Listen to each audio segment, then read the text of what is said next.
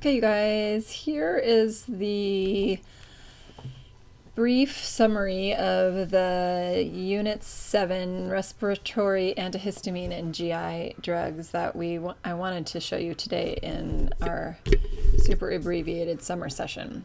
So I'm going to do it now instead. And this is going to really kind of give you the need to know stuff for your test um, on this Unit 7 and the beginning of Unit 8. So I want to start with a little talk about asthma. So asthma is a um, very common condition that um, affects tons of people, both adults and children in the United States and everywhere else in the world as well. And asthma is considered an atopic disorder, it's which means it's immune mediated and it is essentially thought to be like a hyperreactivity or a hypersensitivity disorder, and it affects the airway primarily.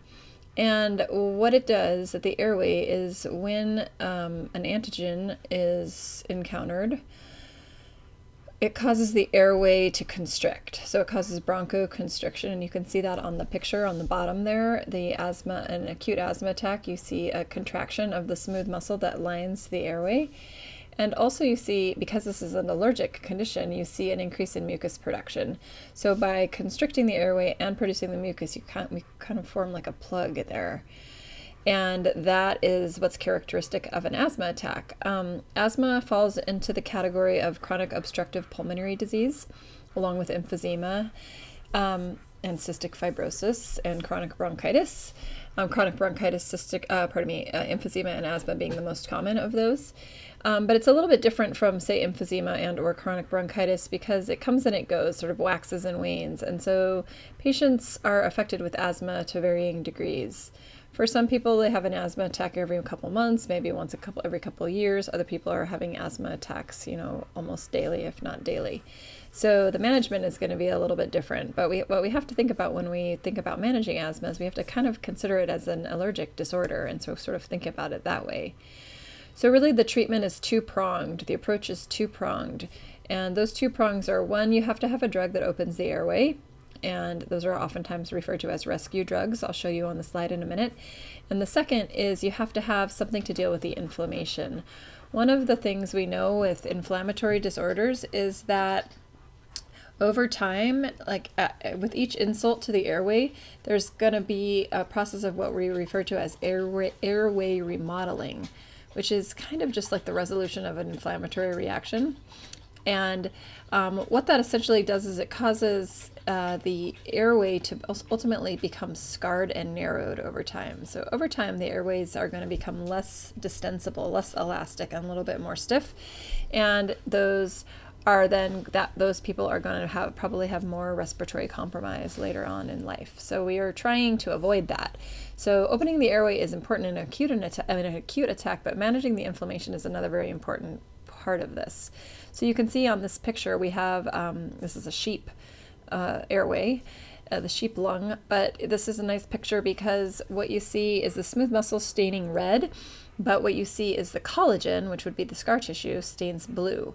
And so this is an unchallenged, means it, meaning it hasn't been, um, it's, it's not experiencing, it's not hypersensitive. So there, this is an airway that's not reactive versus this one over here, which is a challenged airway. And you can see how different that looks, right? You can kind of almost see all the mucus right here. These cells are hypertrophied and then you see all that collagen, right? And so that's going to be really, really stiff over time.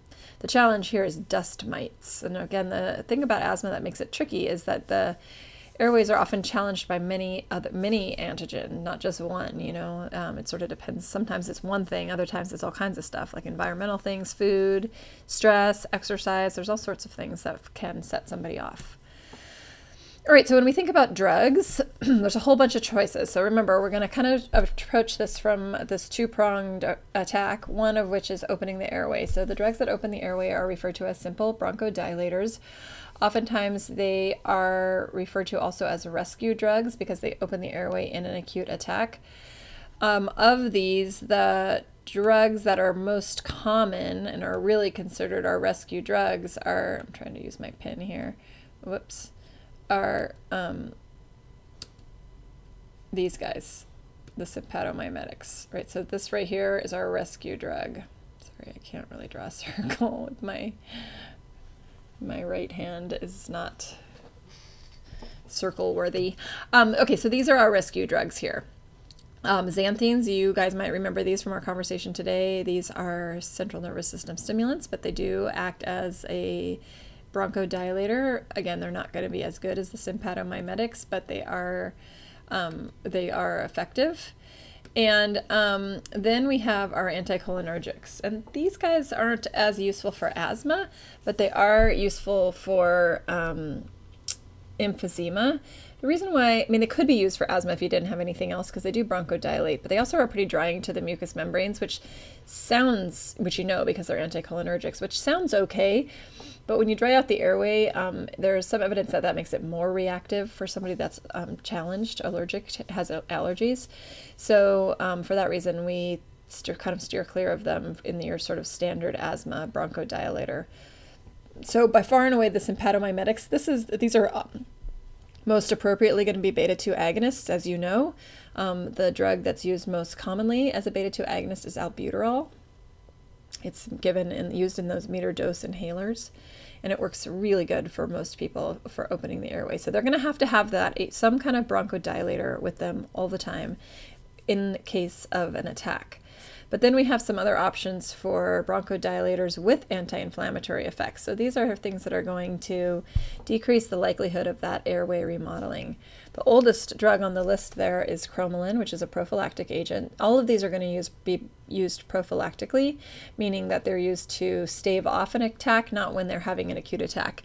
When you need to open the airway acutely during an attack, you do not want to use one of these anti-inflammatory drugs. They just aren't really that good at opening the airway. I mean, they do to some degree, but not not in an emergency situation. So cromolyn's the oldest drug around for this case. Um, I think its brand name was Intal, if I remember correctly, one of them. Um, like I said, it's been around, it's pretty effective. It's a mast cell stabilizer, meaning it keeps the mast cells from spitting out a bunch of histamine, which is part of the problem with this um, allergic situation. Newer than the pro, eh, than cromolyn are the leukotriene modulators or modifiers. This is where drugs like um, Singulair come in. You probably have heard those of that drug. Um, that's gone uh, over the counter now.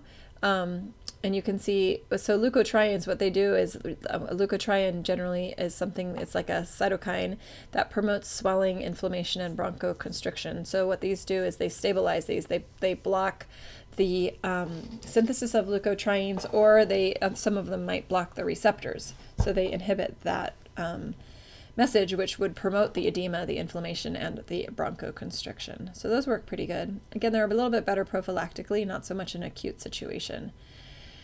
And then corticosteroids are used either inhaled or systemic. Um, in some cases, corticosteroids are used during an acute attack. They're very definitely anti-inflammatory. They're not, I mean, and they will open the airway to some degree. Um, they're probably going to be used more in an emergency situation if the simple bronchodilators have um, failed or, they're not getting control of the attack. Um, if someone's having an asthma attack that doesn't go away, they can't get it under control. That's called status asthmaticus. I think that's in your book. And corticosteroids are also oftentimes useful in that situation.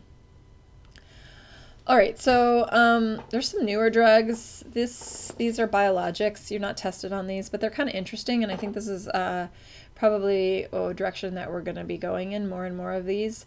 Um, so these monoclonal antibodies, they are going to attach to the uh, to a receptor on the IgE antibody. IgE are known for allergic responses. And by attaching to the receptor on the IgE antibody, IgE, pardon me, antibody, is it neutralizes the antibody. So that looks kind of promising. Um,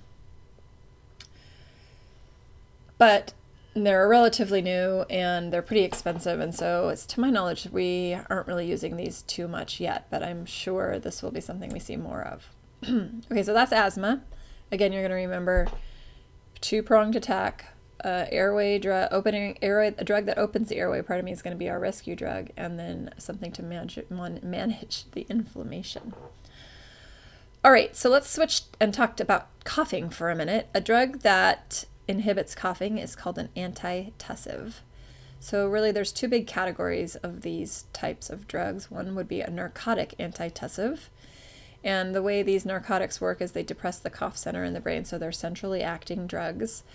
Um, and opioids are the most effective of these narcotic antitussives. So on our in our class today, if you were watching this the same day we had lecture, we talked about codeine, um, and I showed you a picture of codeine being a pure opioid agonist, meaning that it binds both the mu and the kappa receptors.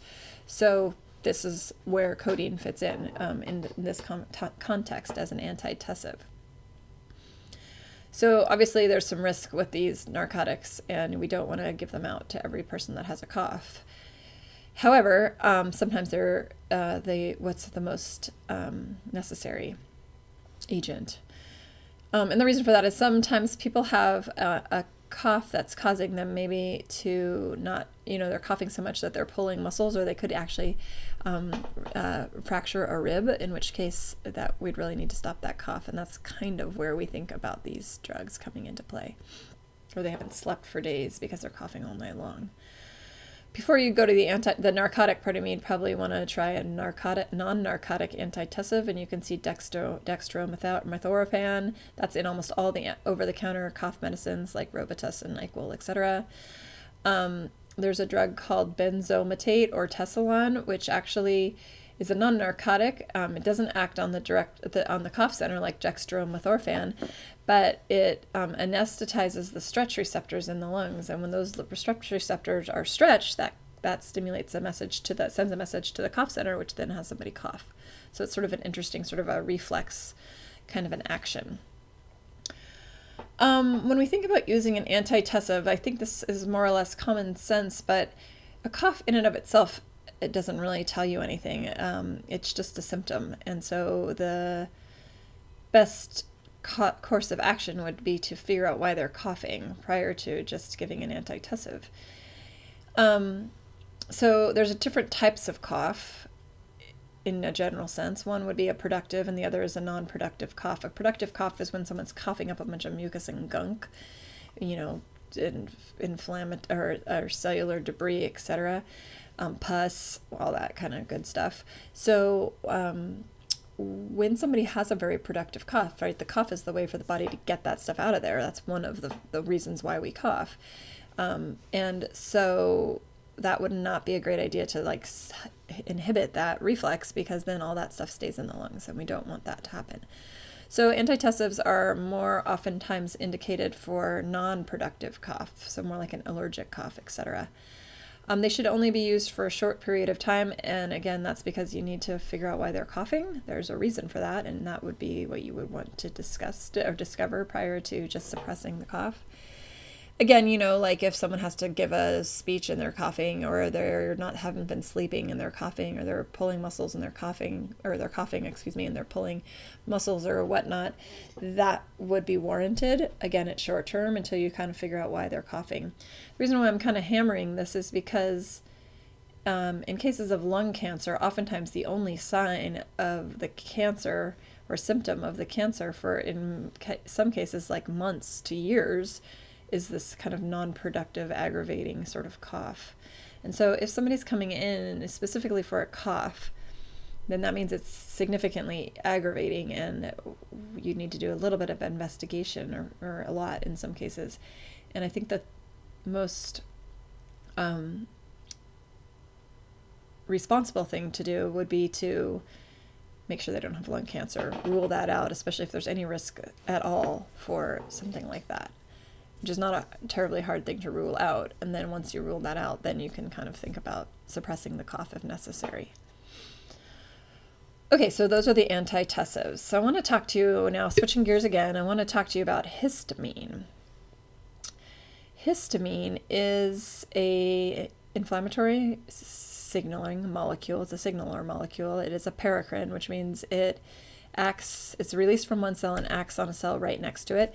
Um, it's traditional histamine is released from mast cells or basophils, and again, it's a local irritant, so it's going to irritate whatever's around it essentially. So we're gonna, um, excuse me, I don't know why I, uh, I'll come back to that other slide in a second. So, um, so here's a mast cell degranulating histamine, right? They release other things as well, but histamine is a big thing. So anywhere you have a histamine receptor, the histamine is going to have an action. And one, th the few things that we know about histamine is one, histamine's a super good local vasodilator, and when the arterioles dilate, that's going to, one, bring more blood to the area, which will increase the hydrostatic pressures in that vessel. And the other thing is when the arterioles dilate and we move into and we push more blood into a capillary bed, capillary beds being only one cell thick, oftentimes um, when the capillary is kind of expanded due to the increase in blood flow, that can cause the, the spaces in between the cell, endothelial cells, to sort of gap, in which case water and in some cases plasma protein can, can float out and then you get some swelling around that site. So edema and vasodilation are quite common.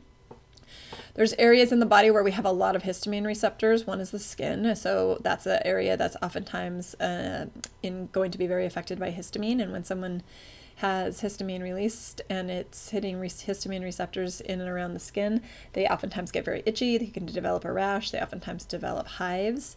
There's a lot of histamine receptors around the airway, so histamine can cause the airway to constrict, and that can be a player in asthma. And it can also cause shortness of breath. Um, I mentioned already the vasodilation, and so when you when we vasodilate, that can could if we if you had a lot of histamine being released, it could cause actually a decrease in systemic blood pressure, and would have to be pretty widespread. But in which case, that would cause a sort of a reflex stimulation of the heart, like we know about when we talked about hypertension. So that could increase the heart rate. It could increase cardiac, or pardon me, then decrease cardiac output if the pressure is low. Another place where we have a lot of histamine, which is not on our picture here, histamine receptors, I should say, is in the gastrointestinal system. So there's oftentimes um, quite a lot of symptoms of histamines uh, in the GI tract. And it can sort of be the same sort of thing, vasodilation, edema, etc. All right, um, so the drugs that antagonize histamine. So there's really two types of histamine receptors. One is called an H1 receptor and the other is called an H2 receptor. So the antihistamines are going to antagonize either the H1 or the H2 receptors. So we have H1 antagonists and we have H2 antagonists. H, when we think of an antihistamine like um, diphenhydramine or, um, you know, Benadryl, Zyrtec, Allegra, all those guys, um, these drugs are the so these are kind of our traditional antihistamines when we think of like sneezing allergies etc and the reason why we think about them as being our traditional antihistamines is because we have histamine receptors all over the H1 receptors, I should say, all over the place. So you can see notably the smooth muscle and the airway, the intestine, like I just said, the arterioles, and the capillaries. So wherever you have a histamine 1 receptor, if histamine is released anywhere nearby and it binds those receptors, you would see that sort of characteristic response, which we know to be an allergic response. So these antihistamines, like diphenhydramine or um, Clarinex, but diphenhydramine is Benadryl, um, Zyrtec, etc., these drugs antagonize this H1 receptor. So the thing to remember is they're not keeping histamine from being released. The histamine is still being released, but it's just not able to bind the receptor because they're blockers, right? The receptor blockers. They're antagonizing that receptor, the active site.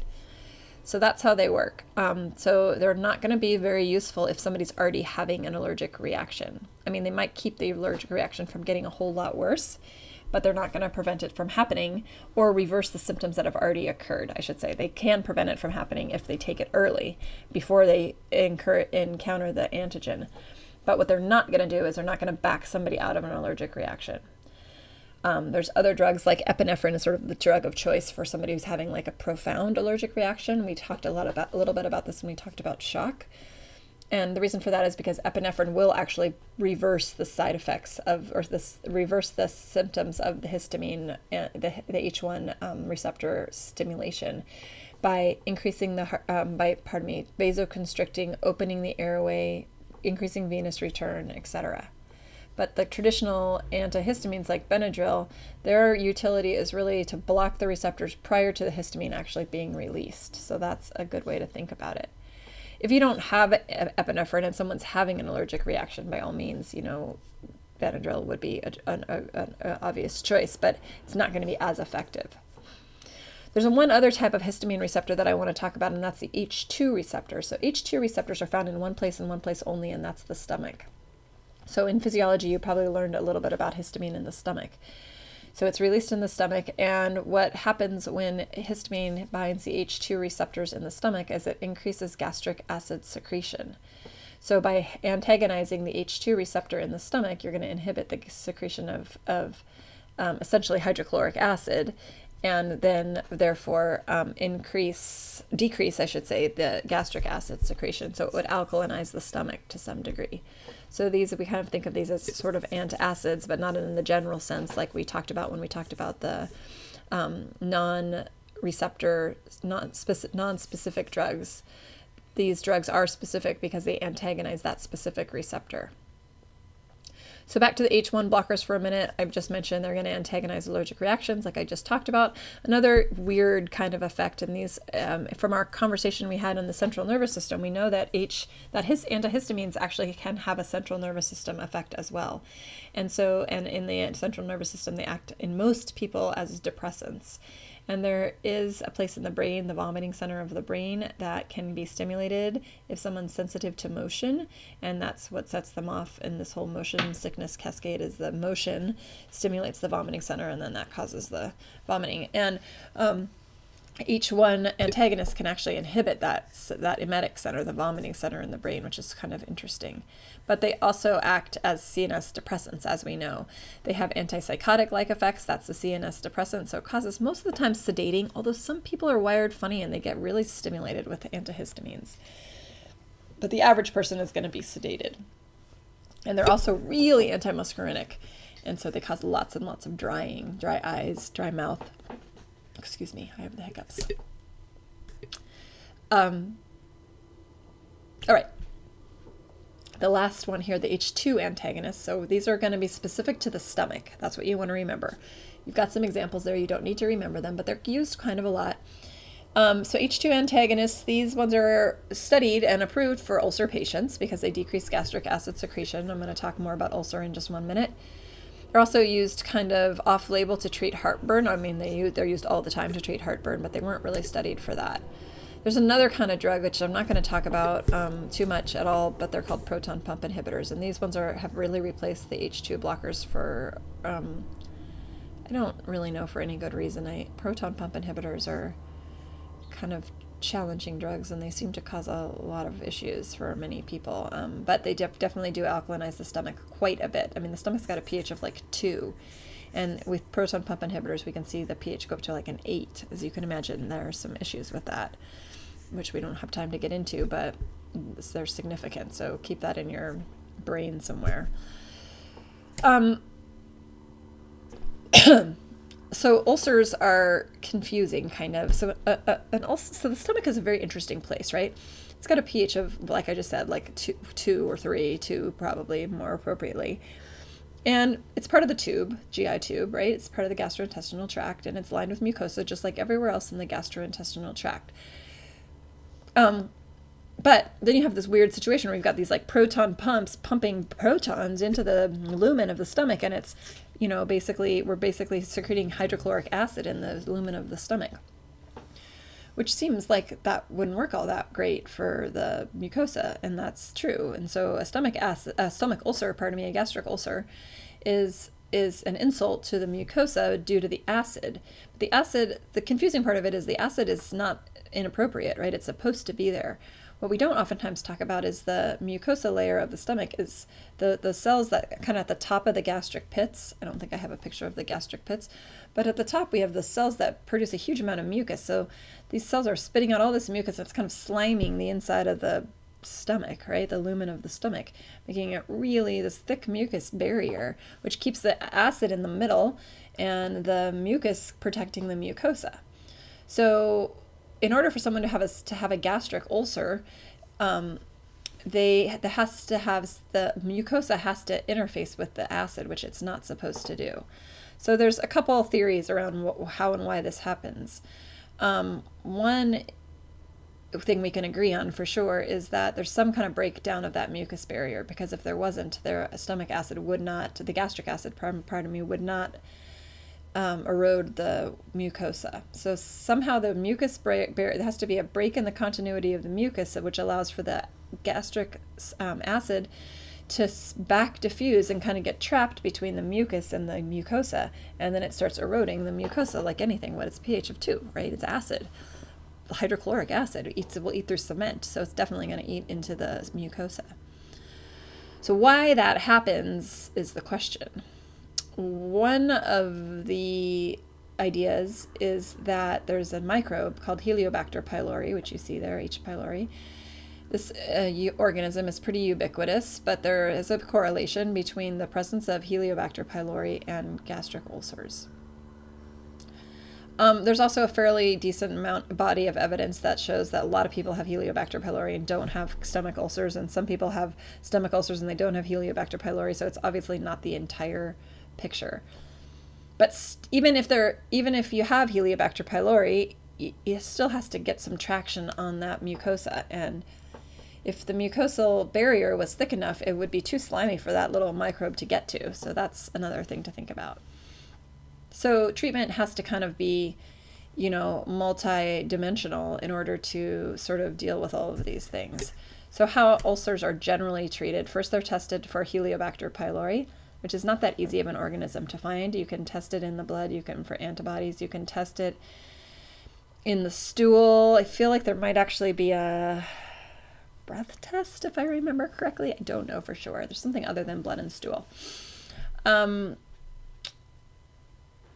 and I don't. They're, they're all they all have a, a, some limitation, but you could test for the microbe, and if you found it, you and they were symptomatic, meaning they have ulcers, you would treat for the microbe, and um, in order to do that, you should generally do some kind of a anti-secretory agent so that's something that's going to stop them from producing stomach acid, but it's short term theoretically because you don't want them to stop producing stomach acid forever. Obviously, there's a reason why the stomach is so acidic and it's kind of outside of the context of our class. But if you alkalinize the stomach for any given time, you're going to have some other issues, you know. Um, and some of them can be quite profound. Um, so that should be relatively short term while you're in the healing process. Then we need to do something to keep the bacteria from sticking to the walls of the mucosa. And bismuth works great for that. You could do Pepto Bismol, you can buy bismuth over the counter. Then you have to kill the microbe if you know that it's there. And that's easier to say than it is to do because there's a lot of resistance with these, uh, for th this particular microbe has a lot of resistance.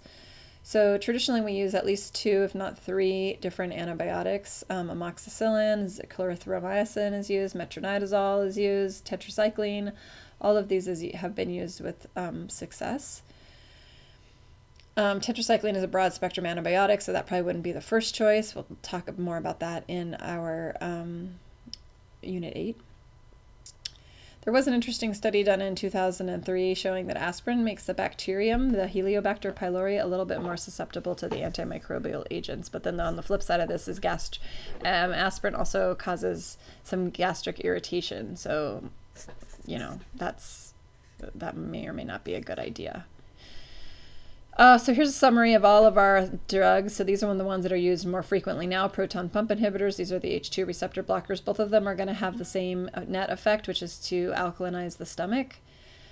Then we've got antibiotics, two or three. Then we've got something, some kind of thing to alkalinize the stomach, maybe an antacid. Something to increase the mucus would be smart and decrease the adherence of and or decrease the adherence of the microbes. So there's sort of a lot to think about with, with gastric ulcers. The term peptic ulcer, I should have said this before. Peptic ulcer is kind of a very generic term, and it's to um, it's basically just says we know that there's a ulcer somewhere, we just don't know exactly where it is. So anywhere that there's um, the potential for gastric acid to interface with mucosa, you could have an ulcer there. So you could have an, a lower esophageal ulcer that would be referred to as a peptic ulcer potentially. Gastric ulcer, duodenal ulcers, and once you know for sure where it is, then you'd be a little more specific in your terminology and name, you know, name it for where it's located. But peptic ulcer is just kind of this broad term. All right, so that is ulcers. Um, in terms of other GI drug classes, um, These are just terms I want you to know. You can see them in your book. I just want you to be able to recognize them um, and kind of have the basic knowledge of why or why not you would use these medications. The first are drugs for vomiting, emetics and antiemetic. An emetic is something that's going to make somebody vomit. That would be like um, um, the syrup of Ipecac is what's coming to mind. An antiemetic would be anything that inhibits the vomiting center. Um, you know, I just mentioned antihistamines do that, but there's other drugs to do that as well from um, all walks of life, from CNS depressants to a little bit more benign drugs. A cathartic, um, a cathartic and a laxative are similar in that they increase motility of the gut a lot. Cathartics are going to be more powerful than laxatives. They're big time GI irritants, usually in both cases, but they're going to get a lot of peristalsis going. So these are agents that are used in people that have decreased motility, but you have to be real cautious with these um, especially with the cathartics. These are big movers, and you have to be absolutely certain for somebody who, ha- if you're going to use a cathartic, they're going to have to have a pretty severe case of constipation, and you need to make sure that they're, or that I should say, they might not have just constipation. They could have some kind of an obstruction, and that's what you want to make sure they don't have an obstruction. Because if you give a cathartic to somebody that has an obstructed bowel, you could blow that bowel out, which would be disastrous, as you can imagine, spilling bowel contents into the peritoneal cavity, which is sterile. So that was not something you want to do, obviously. So, um, real cautious with cathartics and laxatives, but in general, you would give those to somebody who has slow motility if you're going to use them, making sure that you know they're not obstructed. An antidiarrheic is not the same as an antidiuretic, which we're going to talk about later. So, these are drugs that are going to um, stop diarrhea, ideally. Again, diarrhea is like a cough in that there's a, good reason in many cases why somebody has diarrhea. And this is one of the ways our body gets rid of things that we don't want in there in the gastrointestinal tract. So just be aware of that. Uh, you know, sometimes that's the right thing to do is to let that just happen, but you have to be cautious because there's risks like, you know, dehydration and electrolyte imbalances and those kinds of things. And then a carminative, these are drugs that aren't really used very much. It's kind of an old term. Um, it's a drug that dispels gas. So carminatives are good at that. They oftentimes are absorb uh, things that absorb things, like um, activated charcoal, for example, could be an example of a carminative. All right, so just be familiar with those terms. Okay, I'm going to stop this here and pick up the next one with a brief discussion on the eye and the skin. There's a much more comprehensive discussion of the eye recorded that you might want to view instead, but this will be our kind of summary of that. So I'm going to stop this and I'll come back with eye and skin and the antimicrobials are on their own. All right, see you in a little bit.